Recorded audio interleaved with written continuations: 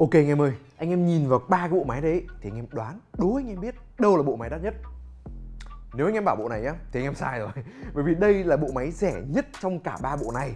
Và cùng hãy hãy cùng mình này tìm hiểu tại sao bộ này là bộ rẻ nhất nhá.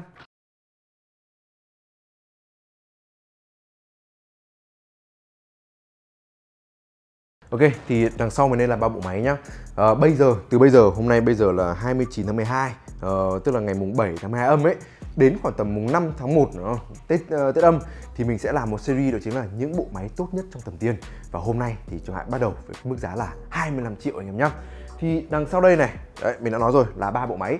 Mình cảm thấy rằng là nếu mà mình chỉ chọn đúng một bộ máy đấy thì nó sẽ không hợp lý cho lắm. cho nên là mình build hẳn là ba cấu hình luôn với ba cái mục đích khác nhau, ba cái hướng nhìn khác nhau và ba cái cách sắp xếp đặt đồ, mua đồ khác nhau. Thì hãy cùng với bắt đầu đầu tiên đi. Đây là bộ máy mà mình cảm thấy rằng là cân bằng nhất ổn định nhất.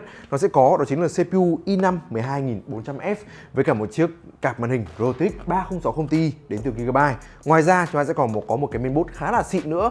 Thì nó sẽ là chiếc ờ, uh, TUF Gaming B660M plus Wi-Fi D4 đây là một em mainboard có thể cân được rất là nhiều con CPU và một có một cái vẻ ngoài khá là xịn nữa. Đồng thời có cả Wi-Fi. Thêm nữa nhá mình sẽ còn có một cái kit RAM đó chính là kit RAM XPG ở đây là hai thanh 8GB tức là 16GB ở bus là 3600 một trong những kit rẻ nhất bây giờ mà chúng mình có với mức burst cao như vậy. Uh, một điều mà mình cảm thấy đặc biệt nhất với cái bộ máy này ấy, thì nó sẽ có cái này. Để từ từ tí nó sẽ có một chiếc SSD NVMe ở ờ, 500GB uh, ờ, uh, PCIe Gen 4 nhá. Và một chiếc ổ cứng 2T nữa. Cái này thì tí nữa chúng ta sẽ cùng phân tích xem xem là tại sao nó lại một bộ máy rất hợp lý nhá. Rồi bên cạnh nó là một bộ máy cực kỳ là đẹp mà rất nhiều anh em nghĩ rằng là nó sẽ là bộ máy đắt nhất trong tầm tiền. Nhưng mà không phải nhá, nó thấp hơn cái mức 25 triệu, khoảng tầm 500 tới 600 nghìn cơ. Và một triệu tùy vào lúc mà anh em mua.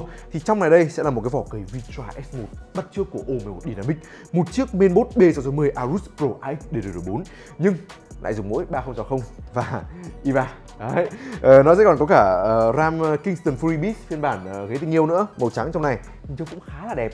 Ờ, thêm nữa chúng ta sẽ còn có một chiếc tản nhiệt nước LS 520 đến từ Deepcool và năm chiếc quạt Vitra cái tổng giá trị bộ máy đấy sẽ rơi vào khoảng tầm 24 triệu 24 triệu 300 nghìn gì đấy. Cái mức giá đấy nó nó theo cái kiểu gọi là nó nó rất là kiểu nửa vời ấy mình không biết sao. Kiểu nửa vời nó không đủ để cho nó máy nó khỏe hẳn mà đẹp mà nó không đủ để cho anh em một bộ máy kiểu uh, xịn hẳn. Nhưng mà nó có một cái vẻ ngoài đó ok.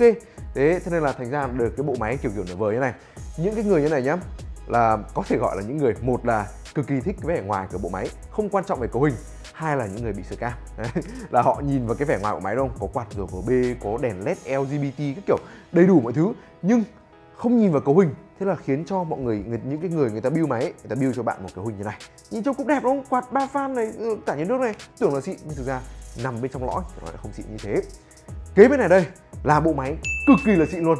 Nó sẽ vẫn được sử sở hữu đó chính là chiếc CPU i5 12400F vẫn được uh, có mấy quạt với va vần nhưng lại được uh, rồi trang bị một chiếc cảm màn hình 3070 Ti tức là một chiếc màn hình cao hơn hẳn so với tầm của cả ba chiếc cảm màn hình này. Ờ, nhưng mà những điểm trừ gì? Chúng ta sẽ bắt buộc phải sử dụng một chiếc main B660 B ở đây uh, Pro B660M đây.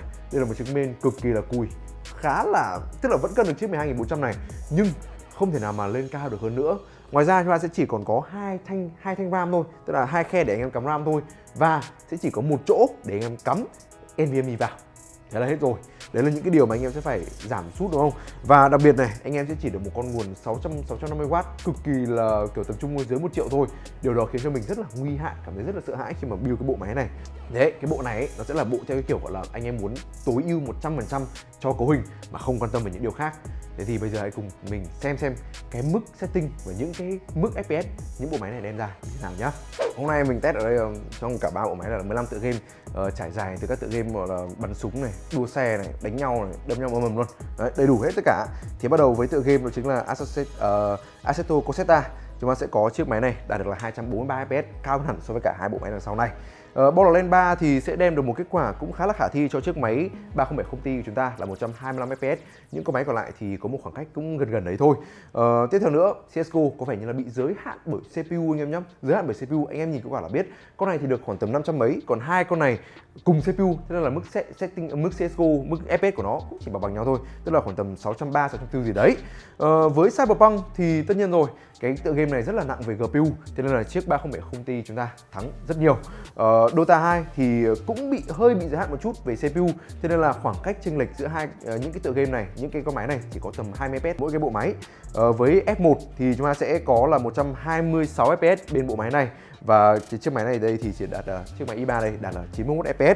Trong uh, Far Cry 6 thì cái mình không biết tại sao nhưng mà hai bộ máy này đây lại có mức FPS bằng bằng nhau tức là khoảng tầm 92 fps. Trong khi bộ máy này thì lên hẳn trên 100 fps ở trong GTA 5 thì cũng là một tựa game bị giới hạn bởi CPU khi đó thì hai bộ máy này, hai bộ máy ờ, i5 này cho kết quả tương tự. Còn bộ máy i3 này thì chỉ là 155 fps thôi. Nhưng mà nói thật thì ba bộ máy này đều chơi GTA một cách cực kỳ thoải mái. Tiếp theo nữa chúng ta sẽ có Mafia 2 tựa game này thì cực kỳ bị uh, không tối ưu cho tất cả các tựa máy. Thế nên là cái máy này lại đem ra kết quả thấp nhất. Tức là chiếc uh, 307 công này lại đem ra kết quả thấp nhất trong khi chiếc 3060 này lại đem ra kết quả cao nhất. Sau đấy chúng ta sẽ còn có uh, Guardian of the Galaxy. Bộ máy 3070 Ti sẽ đạt được là 138 fps trong khi hai bộ máy này thì rơi vào khoảng tầm 110 fps uh, Rainbow Six Ờ, uh, Rainbow Six thì chúng ta sẽ đạt được một cái, cũng là một tựa game nữa bị giới hạn bởi CPU thì trong khi hai bộ máy này đạt mức FPS là khoảng tầm 100 à 400 thì chiếc i3 chúng ta chỉ đạt được nó 370 thôi. Tiếp theo nữa chúng ta sẽ có Red Dead Redemption. Uh, khi đó thì bộ máy này có bộ máy i3 có mức FPS thấp hơn hẳn chỉ là 56 FPS uh, Shadow Tomb Raider thì chiếc máy 3070 Ti sẽ đạt mức FPS cao nhất là 135 FPS cao hơn khá khá so với cả chiếc máy i3 này.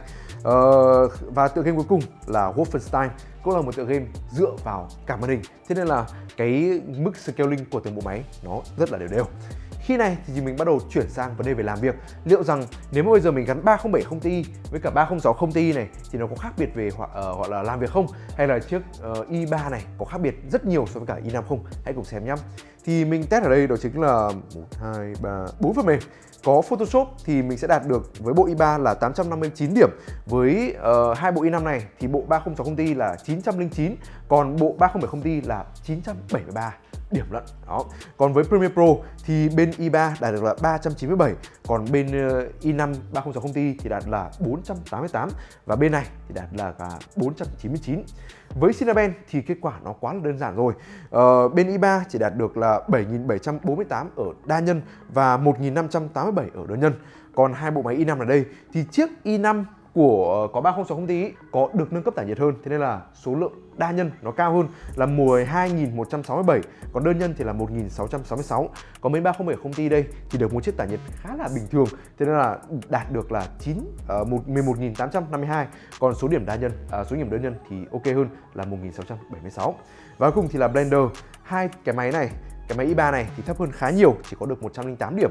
Còn hai máy ở đây uh, thì đạt được ờ, số điểm ngang ngang nhau. Bên này thì là 169 còn bên này thì là 171 rồi vậy thì đó là cái bảng kết quả. Anh em có thể thấy đây cái số lượng scaling. Thì chúng ta có thể thấy được rằng cái máy 3070 Ti này nó cao tầm hơn hẳn so với cả hai bộ máy này. Tách so với cả chiếc máy 3060 Ti là 26% trung bình về điểm CPU và điểm GPU nữa. Điều này chứng tỏ rằng ok đây là bộ máy tốt nhất trong tầm tiền của nó.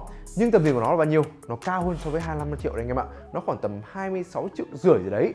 Bởi vì đơn giản rằng là anh em phải mua nguồn mua uh, mua nào thì ổ cứng này mua ram này. Và anh em bắt buộc phải mua một cái vỏ cây chứa được cho chiếc cạc này nữa.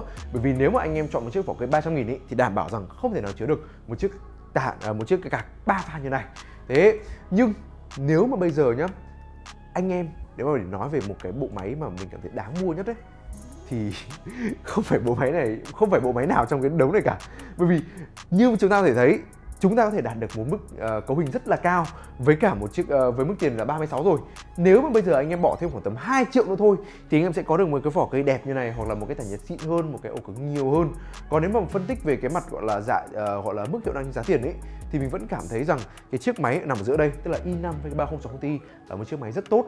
Nó cân bằng về tản nhiệt này về hiệu năng ờ, CPU này về hiệu năng GPU này và đồng thời nữa nó còn cân bằng về cái số lượng game anh em chứa được nữa.